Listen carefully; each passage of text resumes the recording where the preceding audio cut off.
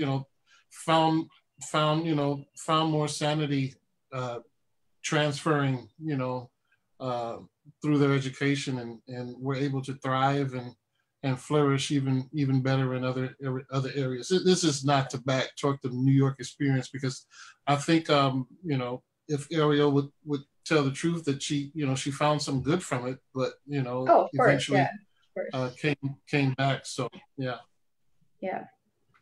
As I said, believe me, as a native New Yorker, I say I understand, and I'll also say, hmm. as a resident of Charlotte for the last 20 years, we're glad to have you back home. So, okay, well, Troy, I noticed uh, just over your left shoulder, you uh, seem to have uh, an axe of some kind there. Does, oh, uh, does, yeah. that thing uh, work? That is your, yeah. It does work. Um, okay, well, you have one over your lap. Let's look at you have one. Oh wait, wait which which one? I can I can yeah. I got I got both of them matter. You know, you know? It doesn't matter. I just happened to see that one was more prominent, so I saw that first. But okay. is there anything you could share with us on that? Since this is also about music, we've talked a while. Anything you'd like to share with us musically, if the live stream uh, will hold up?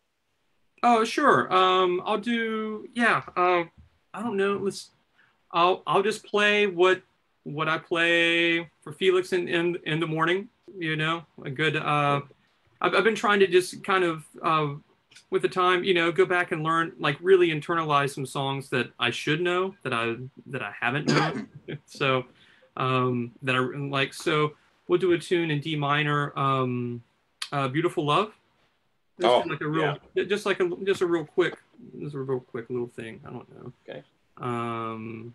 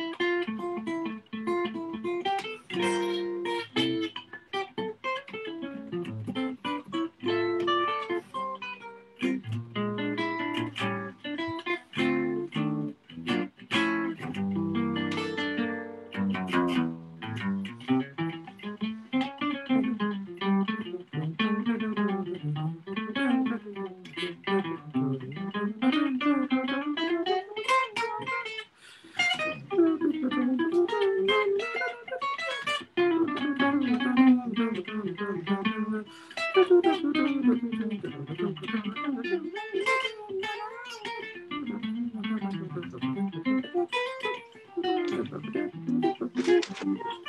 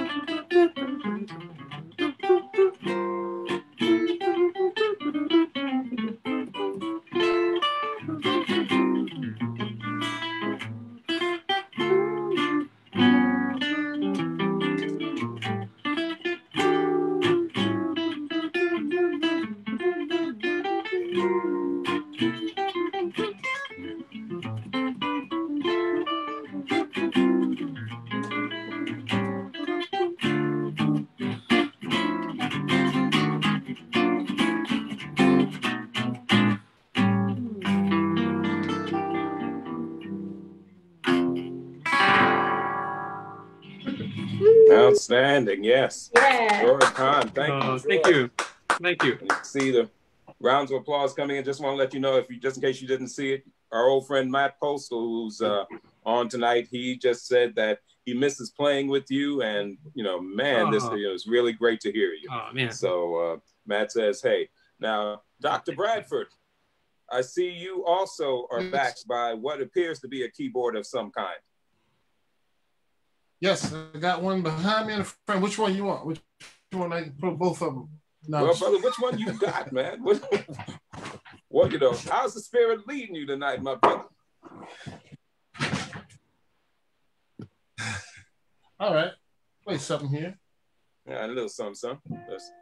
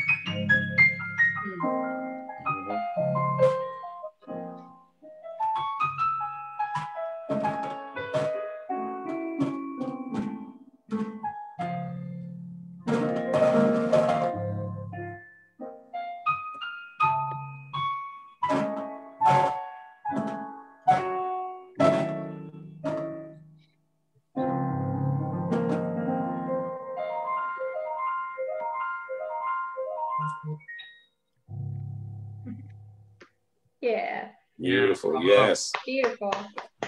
Yes. Was now let me just ask, was that a Smallwood uh composition, Lovell? Uh, I'm not sure if it's a small composition, but he did record it. Okay, because that that's because when you first started playing, I started thinking Richard Mhm. Smallwood. That's where I heard it from. Okay, but Yeah. beautiful piece. For those of us who unfamiliar, what was the title of what you were just playing, sir? It's called I Love the Lord, He Heard My Cry. Yes. Okay.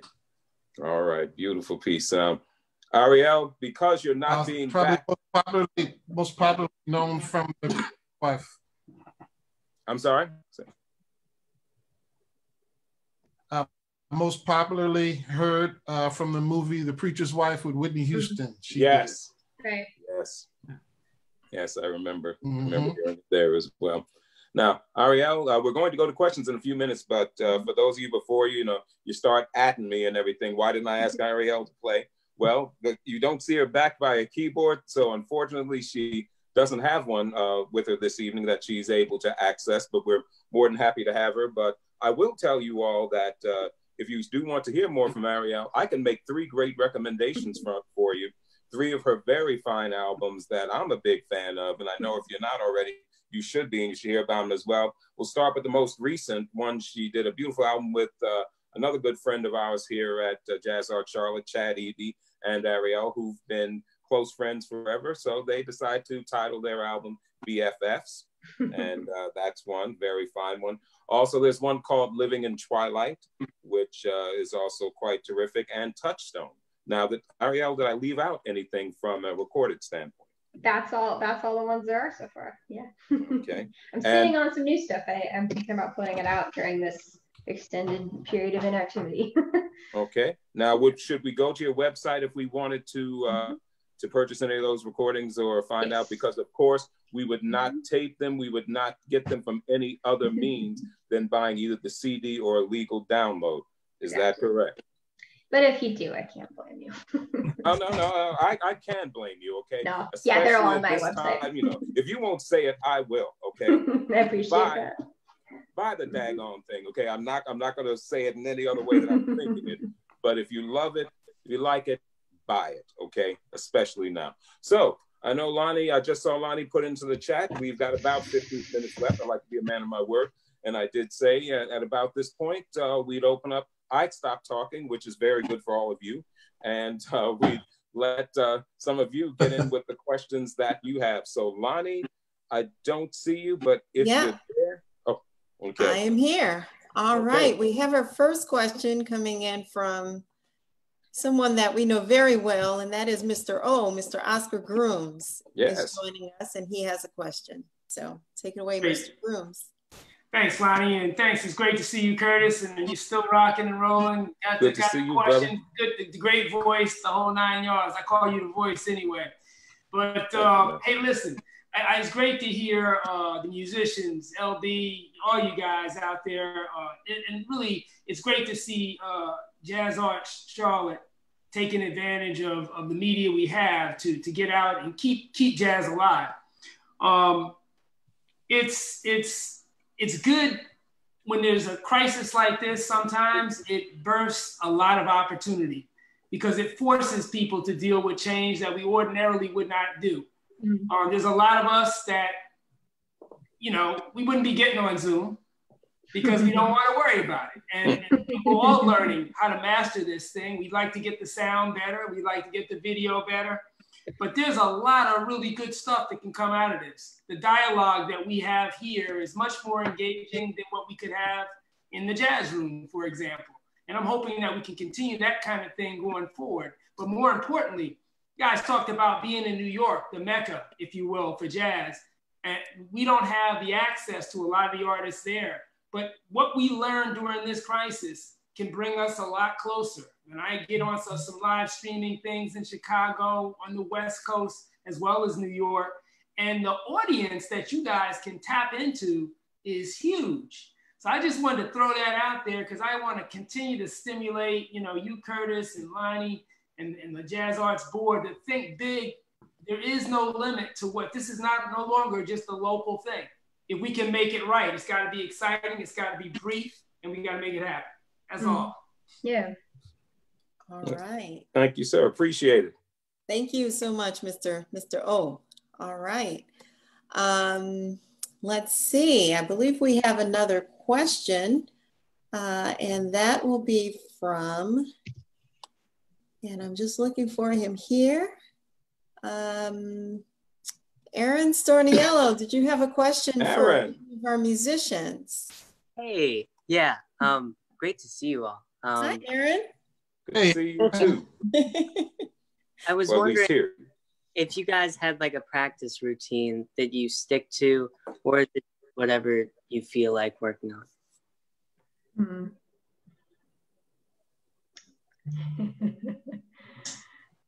oh, to anybody. Um, I guess I can start. Um, oh, I don't have access to a real piano right now. I just have a keyboard, which is kind of drag. Um, So that definitely dampens my enthusiasm for practicing. So since I don't really feel like shedding a lot of classical or anything, what I've mo- mostly been doing is just writing more, which is something that I've been trying to work on more anyways. But now that that's kind of the only thing I feel like doing, I've just been trying to write a song every week, which is not even that much, but even just having that deadline kind of helps me know, okay, you know, it's it's it's rolling around the end of the week. I better just sit down and crank something out. And then I feel a little bit better than if I've just noodled, you know, without any end goal. So for me, just having really basic parameters of okay, I'm just going to do this one task. Um, that's been helping. But I gotta be honest, it's it's pretty hard to force myself to do anything right now. Um, I've been devoting a lot of energies to figuring out how to teach. So mm. by the time I do that, it's like, oh my gosh, and then I have to play. But that being said, if you figure out a good practice routine, please let me know. if somebody else has one. cool. How about um, either Lovell or uh, Mr. Bradford or Mr. Conn? well, I, will let Troy go first. You're guitarist, man. You might have some good stuff for him. Hmm. He's muted. Troy, you're muted. I think Troy's muted. Yeah. Oh, okay. Troy, Troy, Troy, Troy. Here we go. Okay. okay. there he is. Okay, cool. cool. Yes, yes, said I couldn't unmute myself. Okay, gotcha. Yeah, so so so Aaron, uh, you know, I guess it, it changes for me depending on what I have to learn. You know, um, right now I don't have anything I have to I have to learn. Anything. Right. You know, everything that I would every gig that I would have to learn music for is no longer exists for for the time time being. Um, what I've been doing though is, uh, you know, first thing in the morning, uh, I'll, I'll, I'll just play something, you know, and I, I'm I'm not trying to work on anything. I used to reserve that that that time to play whatever I wanted at for the end of the day, and after I've worked, learn whatever I need need to learn. But I've but I've I've flip flopped it, and I, I, I, like the results of that a lot better actually. Mm-hmm. I just I just reserve just a few minutes Sometimes it ends up being seconds. Sometimes it ends up being the entire practice session. Um, but I just play something that, that I want to play, you know, whether it be a tune or Im- an improv. Um, sometimes these little improvs in, end up becoming tunes. Um, mm-hmm. Um, sometimes it's a standard. Sometimes it's, you know, you know, part of a mode, you know, or whatever. So I do that. And then, um, then then maybe that's all I do for that session. You know, then I move on to uh, later on in the day. I'll get a little more serious with with my you know with things that need need need to be done. I've been trying to reserve one practice session, you know, uh, to you know mechanical things, and then um, learning tunes, um, and then writing as well. One thing I do, I have it right here. I've been keeping my practice journal. Mm-hmm. You know, that's really helpful for me because I don't have very good self, uh, self discipline. So any I have to use all all all the tricks in the book to uh, you know to keep myself honest. And practice journal does wonders. You know, I didn't make it too far today. You know. cool.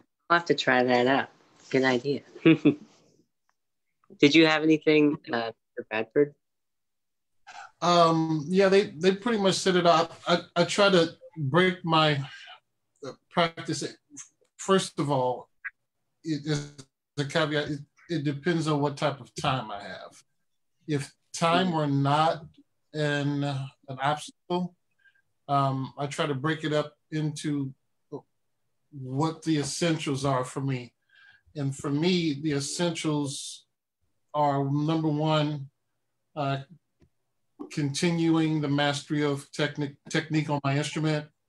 Uh, two is uh, mild application, uh, generic application uh, in a drill kind of way. Um, whereas I, um, you know, especially if it's genre specific, you know, jazz, trying to make sure you, you know, you mastered or you drill work on two fives and different type of progressions. And then three is if I have enough time, I'll be um, song specific or a certain type of song to where I, I begin, I continue to, to elaborate on how I would, um, uh, how I would solo or modes or stuff on a certain song uh, in my, with a certain song in mind. So I try to keep those three things. If I if I can't get to all all three of them, n- number one for me is making sure that I keep technical mastery of my instrument. So scales, or arpeggios, all of that stuff. Um, if I'm not able to get to the other two, at least I'm able to, you know, to stay, you know, proficient on the instrument. So, mm-hmm. yep. Ah, cool. It's nice to know that the masters still practice scales and stuff. Thank you. Oh, man, All right. Thank, Thank you, Aaron. So Good to hear from you. Good to see you, Aaron. Thank you. Yeah. All right. So uh, next question we have is from Barbara Birch, and I will go hey, ahead and Barbara. Barbara. Hi, y'all. There you Hi, go, Barbara. Barbara. Hi. Hey. Um. Well, I think I'm going to probably be dovetail, adding on what Mr. O said about the good that I hope can come out of this. And I've got to quickly say the one thing I know I miss, because I'm an introvert, so I hate to say this is suiting me altogether too well to stay home and hole up. Um, the one thing I miss is the jazz room. Hmm. It's the one thing that I hmm. look forward to returning to. I hope I'm coming through. I don't know if my mm-hmm. audio's okay. Yeah. Um, yes, you are. You're coming through loud and clear. We hear you. Yes. Okay.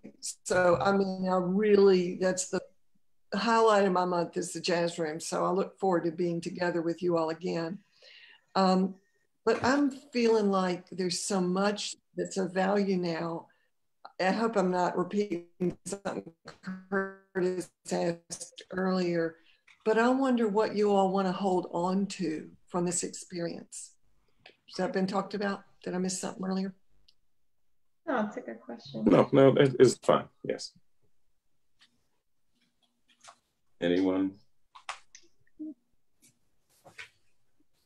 Um, I'll, I'll go because that's something I've thought about actually. Is um, what do I want to take from this? I don't want to just go back to to normal and not exactly. appreciate you know the things. Um, I think it's really useful to to take stock of what things you truly miss and what things you're relieved to let go of. Um, I know that for myself, there are plenty of things that I really, really do miss and people I miss playing with and gigs I miss playing and venues um, that I'm really excited to get back to whenever that may be, knock on wood.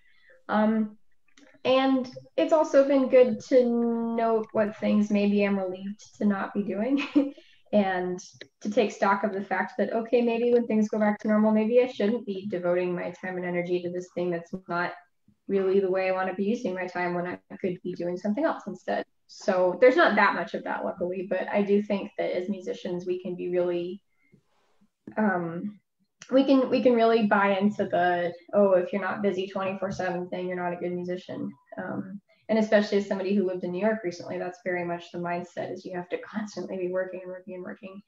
Um, and I think across the board for other fields of work as well, a lot of people are going to be noticing that a lot of things kind of bubble up to the surface when you have time to think about them. And one of those things is, am I just being busy to be arbitrarily busy? So I feel good about my inherent worth as a musician or as a person who works in this field?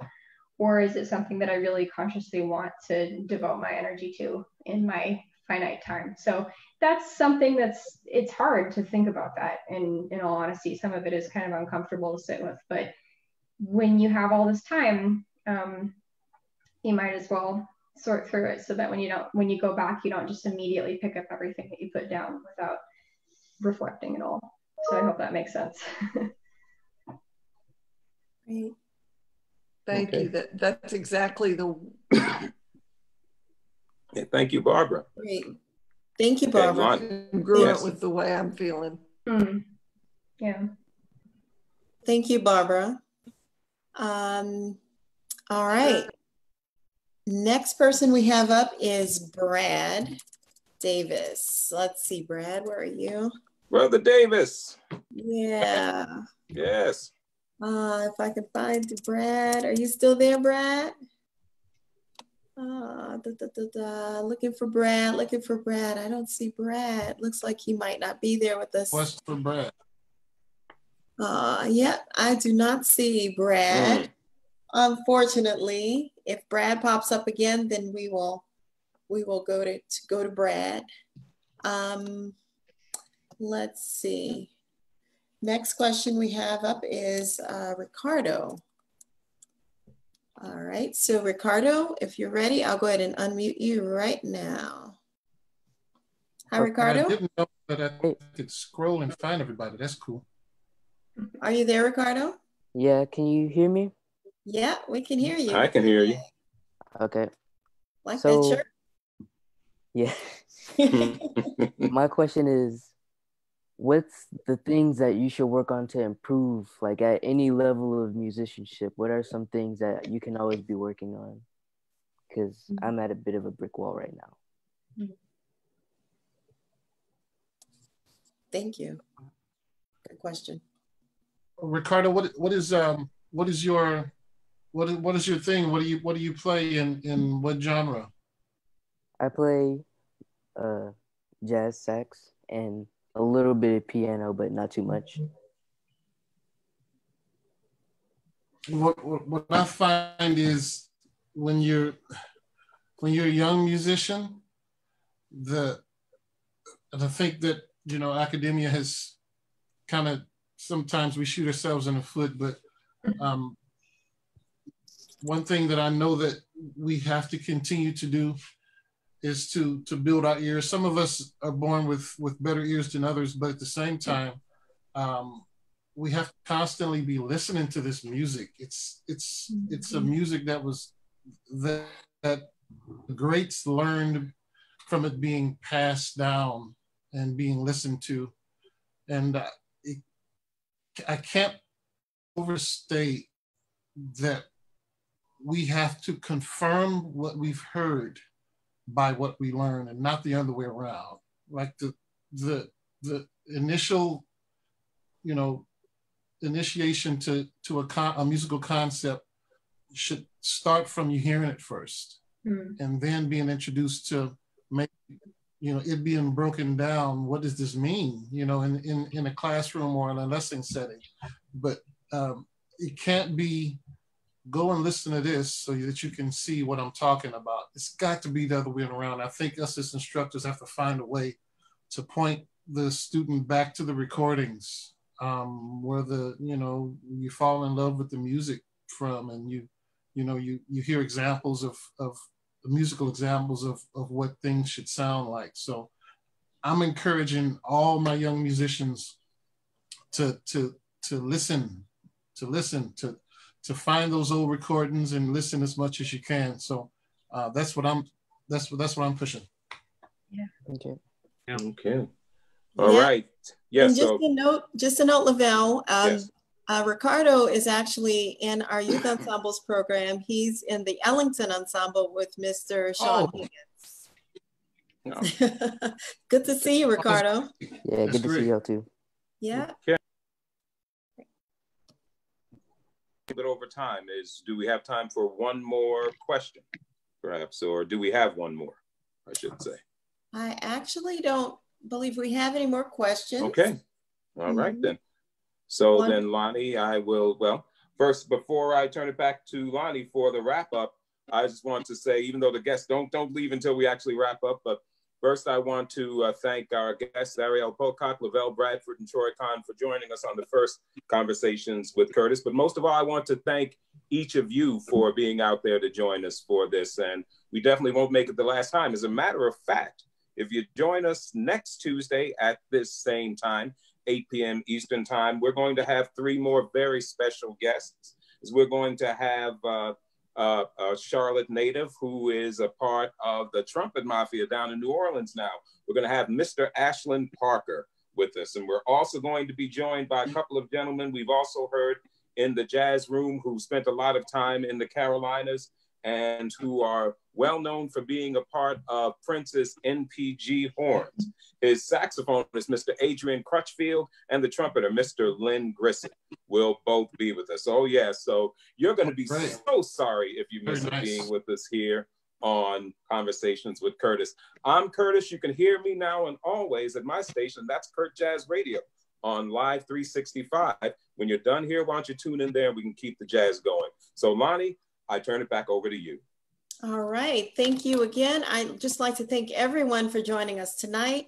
And a special thanks to all of our supporters and our donors who have been with us uh, all this time. Also special thanks to Ray Ward for helping us to launch this great project.